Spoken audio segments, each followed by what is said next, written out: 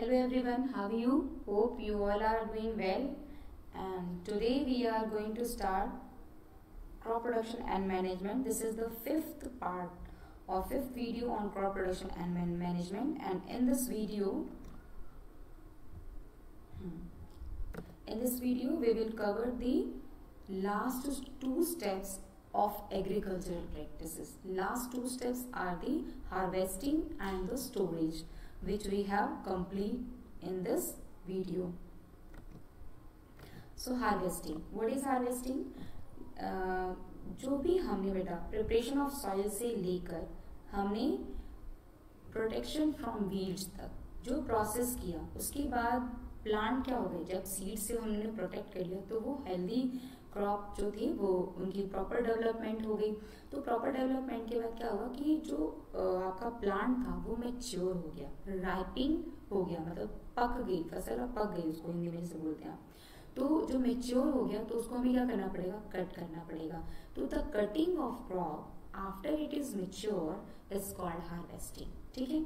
तो जो भी हम मेच्योर होने का जो कट करते हैं, उसे क्या बोलते हैं? हार्वेस्टिंग बोलते हैं। हार्वेस्टिंग जो होती है it means close cut to the ground हम ग्राउंड से क्या कर लेते हैं? कट कर लेते हैं अपनी क्रॉप को। ठीक है?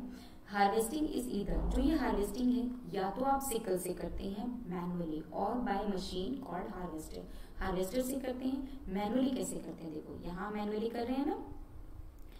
तो यहाँ पे एक तो यहाँ पे हम मैनुअली कर रहे हैं। ये सिकल से होता है। मैनुअली जब करते हैं तो किससे करते हैं? विद द हेल्प ऑफ़ जो टूल यूज़ करते हैं, उसका नाम क्या? सिकल तो इसकी हेल्प से हम करते हैं। दूसरी चीज़ कि आप जो भी ग्रेन अब हमने जब फ़सल काट ली तो उस फ़सल में से जो भी क्रॉप है, उसमें से ग्रेन्स निकालने पड़ेगा, अलग करने पड़ेंगे, और जो शाफ होगा, उसे अलग करना पड़ेगा। तो जो ये प्रोसेस था सेपरेशन का कि ग्रेन्स को शाफ से सेपरेट करने का जो ये प्रोसेस था, इस प्रोसेस में जो सीड्स को सेपरेट किया हमने शाफ से this separation the process of separated seeds from the chaff is known as threshing ठीक है? जो ये थ्रेशिंग होती है, जो हार्वेस्टिंग होती है it is done by a machine it is called combine अब ये इस मशीन का नाम कंबाइन क्यों पड़ा? कंबाइन बेटा इसलिए क्योंकि ये जो मशीन थी ना, ये लेटेस्ट और न्यू टेक्निक की मशीन थी। ये इस मशीन से फार्मर को क्या हेल्प होती थी? होती है कि ये harvesting as well as threshing दोनों काम एक साथ करता है। तो टाइम बहुत कम कंज्यूम करता है। टाइम बहुत कम टाइम में ज़्यादा से ज़्यादा लैंड को हम हार्वेस्ट और साथ ही साथ थ्रेशिंग भी कर सकते हैं। मतलब सीड्स को भी सेपरेट कर सकते हैं। तो ये है हमारे, ये है कंबाइन तो इसमें आपने देखा कि हार्वेस्टिंग भी कर और साथ साथ ये क्या करता है? सीड्स को अलग भी करता रहता है शाप से। तो दिस मशीन जिस called is combine right now come to the storage storage is the most important part in the agricultural practices. Why it is important? Because कि हम जो फार्मर है, जो भी उसने प्रिपरेशन ऑफ़ सॉइल से एग्रीकल्चरल प्रैक्टिस के first step preparation of soil से लेकर, जो उसने हार्वेस्टिंग तक का जो भी टाइम पीरियड कंप्लीट किया है, वो अगर वो टाइम पीरियड जो उसने कंप्लीट किया, उस टाइम पीरियड में जो उसके पास ग्रेन आया अगर उस ग्रेन की प्रॉपर मैनेजमेंट नहीं हो पाया प्रॉपर स्टोरेज नहीं कर पाया अगर वो, मान लो कि वो मॉइस्चर रह गया और मॉइस्चर के साथ ही उसने उसे स्टोर कर दिया तो जो भी ग्रेन है वो स्पॉइल हो जाएगा।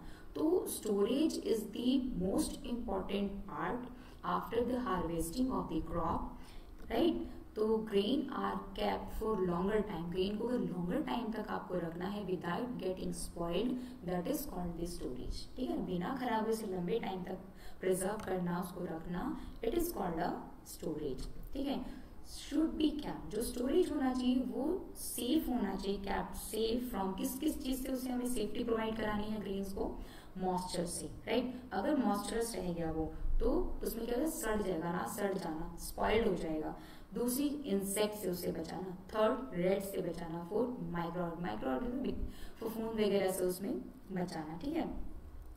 उसके बाद जो थर्ड चीज़ थर्ड इसमें है कि if grains are stored without time देखो, जब भी आपने देखा होगा कि जो फार्मर क्या करता है कि ग्रेन्स की कटिंग मतलब हार्वेस्टिंग के बाद, जो मैनुअली वो हार्वेस्ट कर रहा होता है तो उसकी कटिंग के बाद वो फ़ील्ड में ही जो कटेड आपके कट जो ग्रेन्स होते हैं, जो प्लांट्स होते हैं ग्रेनी प्लांट्स जो होते हैं, वो उनको फ़ील्ड में छोड़ देता है, ताकि वो सन ड्राई हो सके प्रॉपर ड्राई हो सके। क्योंकि अगर वो ड्राई नहीं हुए तो ये लिखा ना कि grains are stored without drying अगर ग्रेन को स्टोर कर दिया गया without drying so they can spoil and lose their germination capacity ठीक है ना? तो वो अपनी कैपेसिटी को लूज कर देंगे, जो जर्मिनेशन कैपेसिटी है, वो भी लूज कर देंगे और खराब हो जाएँगे। ठीक है? अब ये जो स्टोरेज होता है, मान लो मेरे पास कम ज़मीन है, ठीक है ना? मेरे पास लैंड कम है तो मेरा प्रोडक्शन भी कम ही रहा होगा, ठीक है? तो प्रोडक्शन कम होगा तो उस हिसाब से स्टोरेज स्टोरेज भी छोटा ही होगा स्मॉल स्केल पे स्टोरेज करूँगी मैं। मान लो मेरे पास अनाज कम होगा तो मैं बैग्स में जूट बैग्स में रख लूँगी। तो स्मॉल स्केल पे जो फार्मर है, वो स्टोरेज कैसे करता है कि जूट बैग्स या मेटालिक बिन्स में करता है। आपने ये जो पिक्चर होगी, वो ज़रूर देखी होगी कि जो फार्मर है, वो फार्मर क्या करता है कि अपने जो सीड्स हैं, जो ग्रेन्स हैं, वो ग्रेन्स को इन जूट बैग में भर लेता है और भर के अनाज मंडी तक उन्हें लेके जाता है, ठीक है? तो इस तरीके से वो अपने जो ग्रेन है उसको स्टोर करके रखता है घर में या फिर गवर्नमेंट के पास भी जब वो लेके जाता है बेचने के लिए सेल करने के लिए तो वो इसी तरीके से लेके जाता है। इफ़ स्मॉल स्केल पे का स्टोरेज हो रही होती है लार्ज स्केल पे स्टोरेज कौन करता है? लार्ज स्केल पे स्टोरेज गवर्नमेंट करती है। गवर्नमेंट क्या करती है बेटा? कि जो किसान के पास जो भी अनाज है, वो उसे खरीद लेती है।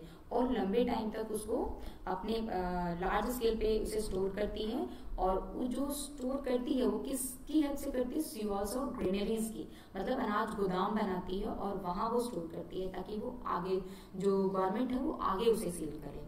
तो ये जो स्टेप था स्टोरेज का, वो उतना ही इम्पोर्टेंट था, बाकी जो हमारे स्टेप्स इम्पोर्टेंट थे, ठीक है? क्योंकि फ़सल उगाना, ठीक है? मतलब क्रॉप की प्रोडक्शन करना is important as well as storage is also important ठीक है ना? मैनेजमेंट उसकी बहुत इंपॉर्टेंट है। अगर आप प्रॉपरली इसे मैनेज नहीं कर पाए तो आपने जो टाइम पीरियड कंप्लीट किया है प्रिपरेशन ऑफ़ सॉइल से लेकर हार्वेस्टिंग तक का, वो सब वेस्ट हो जाएगा, वो सब वेन हो जाएगा। ठीक है ना? तो जितना एम्फेसिस आप प्रिपरेशन ऑफ़ सॉइल से लेकर हार्वेस्टिंग तक करते हैं, उतना ही एम्फेसिस हमें स्टोरेज पे भी करना पड़ता है। अदरवाइज़ जो भी हमारी अगर हम एम्फेसिस नहीं करते तो हमारी जितने भी लेबर था, जितना भी हमारा मेहनत थी, वो सब क्या हो जाएगी? वेन हो जाएगी, व्यर्थ हो जाएगी, ठीक है ना? So these are the last two steps that is the harvesting and the storage So here we have completed the chapter that is the crop production and management. So thank you all of you. Thanks for watching this video. आप जो भी मैंने last videos बनाए उन सब videos को देखकर आप एक प्रॉपर नोट्स तैयार कर सकते हैं और उस नोट्स की हेल्प से आपके एनसीईआरटी बुक के जितने भी क्वेश्चंस हैं वो सब इसी नोट्स में आपको मिल जाएँगे ठीक है? So thanks for watching this video if you like this video please like share and subscribe this channel and keep watching Nitya education for more educational video